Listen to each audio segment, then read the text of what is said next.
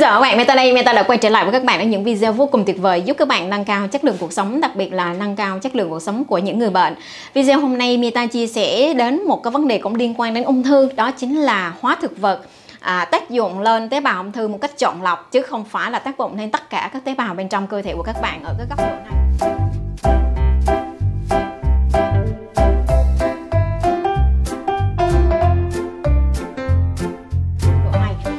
Là mà hãy đón xem nhé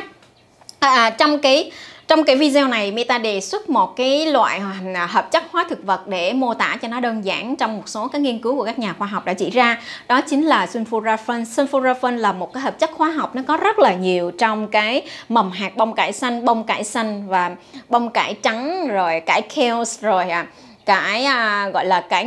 cái cái cái rổ à, rồi à, bok choice rồi à, à, cải bi sen rồi cải hoa hồng nói chung là các loại rau hoa cải.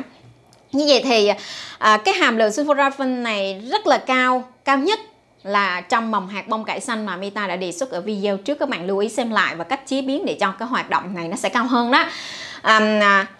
thì khi sử dụng sulforaphane ở trong hai nhóm đối tượng nghiên cứu là tế bào khỏe mạnh và tế bào ung thư thì các nhà khoa học đã thu nhận những kết quả như sau. Kết quả đầu tiên, cả hai nhóm đối tượng nghiên cứu này đều cho thấy sulforaphane gây nên cái ức chế sự hoạt động của cái enzyme là estes. Estes là một enzyme làm cho DNA của các bạn bị lỏng lẻo hơn. À, À, khi nên khi mà ức chế hoạt động của enzyme này có nghĩa là DNA của các bạn bền vững hơn. Vậy là điều thứ hai là các nhà khoa học đã thấy một cái điều vi diệu ở đây là cái sulforaphane này gây ức chế B21 mà cái ức chế sự biểu hiện của gen B21 ở cái nhóm là tế bào ung thư nhưng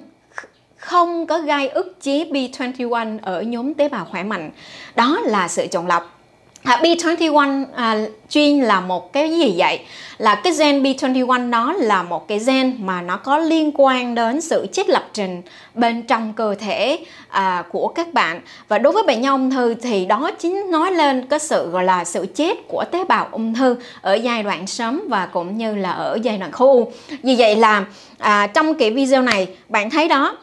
là ví dụ điển hình một cái sulforaphane là một cái hợp chất hóa thực vật à, đã ghi nhận được là cái sự tác động của cái hợp chất hóa thực vật lên cái đối tượng là tế bào ung thư là uh, tác động có chọn lọc chứ không phải là là tác động cách ngẫu nhiên tất cả các tế bào đều tác động hết. Vì vậy nên bạn là người khỏe mạnh hay bạn là người bình thường khi bạn sử dụng cái cái sản phẩm này, cái cái những cái nguyên liệu mà Meta chia sẻ đó. Nguyên liệu như là từ mầm à, hạt, bông cải xanh, bông cải xanh hay là bắp cải hay là các loại cải mà Meta chia sẻ lúc nãy thì nó cũng có tác dụng một cách rất là mãnh liệt. Nó làm bền vững DNA là quá tuyệt vời rồi đó các bạn thấy không? Và nó không gây hư hỏng bất kỳ một cái điều gì bên trong cơ thể. Riêng bệnh nhân ung thư thì nó vừa có tác dụng như vậy, giống giống như người khỏe mạnh lại thêm một cái tác dụng tích cực là loại bỏ bớt tế bào ung thư ra ngoài nữa vô cùng tuyệt vời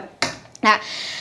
nhưng có một cái điều đáng lưu ý người ta chia sẻ rằng nếu bạn là à, người bệnh à, về đường tiêu hóa bạn có một cái sự là loét hoặc viêm nhiễm kéo dài trong đường tiêu hóa hoặc là bị rụt kích ứng ở trong đường tiêu hóa thì bạn thật sự không nên sử dụng là các loại rau họ cải như Meta chia sẻ ở trên. Bởi vì các loại rau họ cải này có thể làm cho các vấn đề tiêu hóa của bạn trở nên trầm trọng hơn nữa. Nên là cách giải pháp ở đây là gì? Đầu tiên là bạn hãy nên chữa lành cái đường tiêu hóa trước bằng những giải pháp khác hay giải pháp khác làm lành đi rồi sau đó quay lại sử dụng là những cái loại rau hoa cải như Meta đề xuất để làm tăng cái hợp chất hóa thực vật với trong mà Meta nói ở đây đó là sulforaphane bên trong cơ thể để kiểm soát những cái vấn đề bệnh tật trong tương lai. Là đó video hôm nay kết thúc là ở đây. Và Mita à, chốt lại một điều như thế này đó chính là hóa thực vật có sự chọn lọc lên tế bào ung thư. Và các bạn hãy nhấn mạnh cái điều đó và lưu ý cái điều đó. Và à,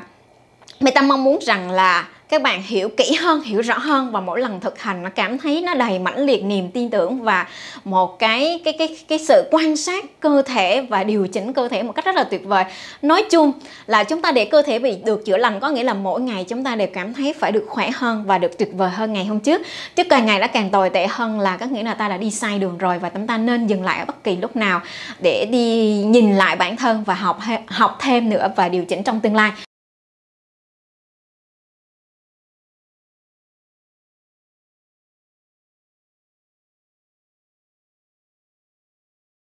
À, cảm ơn các bạn rất là nhiều. Hãy chia sẻ những video này cho những người bạn của mình những người chưa biết để họ có một cái nhìn vững vàng hơn nữa. À, nếu họ chưa thực hành và nếu họ đã thực hành mà chưa đúng thì hãy cho họ biết và để cho họ chỉnh lại để có một cái kết quả tốt hơn trong tương lai các bạn nhé. Cảm ơn các bạn rất là nhiều. Bye bye!